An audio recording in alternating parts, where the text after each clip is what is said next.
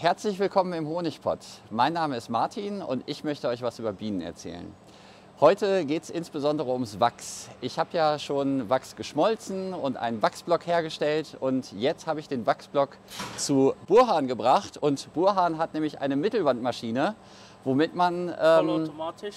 vollautomatisch, womit man wieder Wachsplatten daraus herstellen kann. Möchtest du dich vielleicht erstmal ganz kurz vorstellen? Ja, mein Name ist Burhan Chawash. Ich bin ein Wachsumarbeiter mit kleinen Mengen ab 10 Kilo. Als erstes wird der Kessel vorbereitet.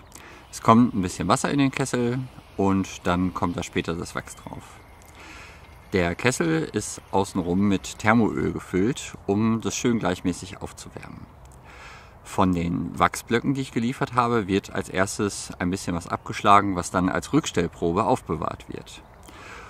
Als nächstes werden die Wachsblöcke zerschlagen, weil in den kleinen Kessel passen die sonst nicht rein. Der große Kessel ab 40 Kilo könnte die Wachsblöcke auch direkt so aufnehmen. Wenn die Wachsblöcke zerschlagen sind, dann können die in den Kessel reingepackt werden.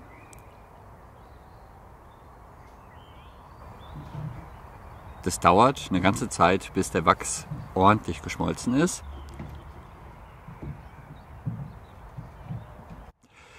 Deswegen verschwinde ich hier gleich wieder und äh, komme nach einigen Tagen wieder, wenn Burhan nochmal eine andere Charge macht.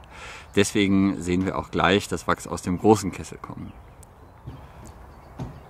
Das Heizelement heizt den Kessel auf ungefähr 80 bis 85 Grad auf. Das Heizgerät wird deswegen auf ungefähr 90 Grad eingestellt. 88, 90 Ja. Und dann wird der hier auf 80 sein. Wenn das ganze Wachs geschmolzen ist und der Kessel gut auf Temperatur ist, dann kann der eigentliche Prozess losgehen. Aus dem Kessel wird das Wachs erstmal rüber zur Maschine geleitet und dort nochmal in einem kleinen Zwischenbehälter aufgefangen, der auch nochmal die Temperatur ein bisschen anpasst. Aus diesem kleinen Kessel läuft das Wachs dann unten raus auf die eigentlichen Walzen, die die Mittelwände formen. Das Wachs läuft zwischen diese beiden Walzen. Oben ist es noch flüssig und dann, die Walzen werden gekühlt und unten raus kommt dann schon sozusagen eine endlos Mittelwand. Das Ganze wird hier über einen Motor angetrieben, dass das schön gleichmäßig läuft.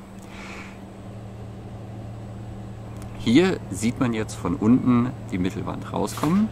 Die Ränder sind hier noch ein bisschen ungleichmäßig und werden später im Prozess abgeschnitten.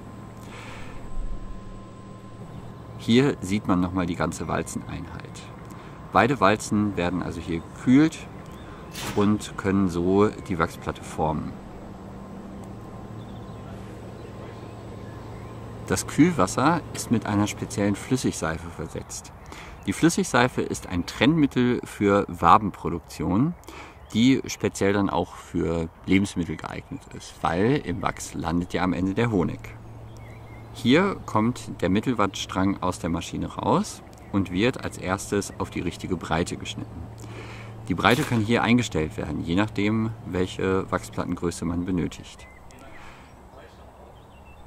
Die abgeschnittenen Teile wandern wieder in den Kessel und können so im Prozess weiter verwendet werden. So wird möglichst das gesamte Wachs für die Mittelwandherstellung verwendet.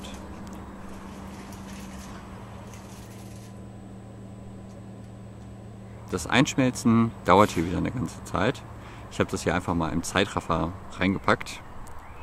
Und ja, man sieht, dass das so langsam vor sich hinschmilzt.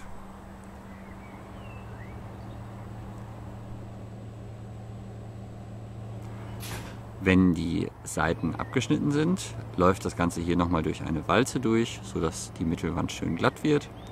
Und dann am Ende wird die mit einem automatischen Messer abgeschnitten.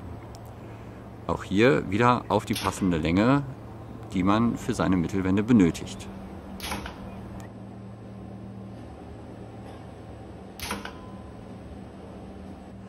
Das 70 ist die Länge hier. Ah ja. Das ist die Schnelligkeit der Walze. Ja. Das ist die Wassertemperatur.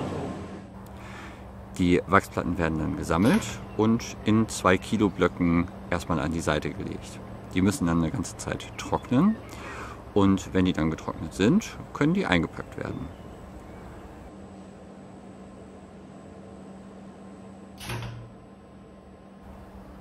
Da entsteht dann das eigentliche Wachspaket, was man dann auch wieder abholen kann.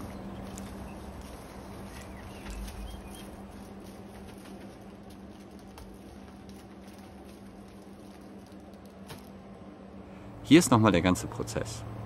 Das Wachs wird im großen Kessel geschmolzen. Dann kommt das über die Rinne in Richtung Maschine. Kurz vor den Walzen wird nochmal die Temperatur ein bisschen angepasst und dann läuft das Wachs hier auf die Walzen drauf, wird dadurch geformt, dadurch, dass es dort abkühlt und unten raus kommt dann die Wachsplatte. Als nächstes werden die Ränder abgeschnitten, damit wir die richtige Breite haben Und dann wird die Wachsplatte nochmal gerade gerückt und am Ende abgeschnitten. Fertig ist die Wachsplatte. Vielen Dank fürs Zuschauen. Bis zum nächsten Mal.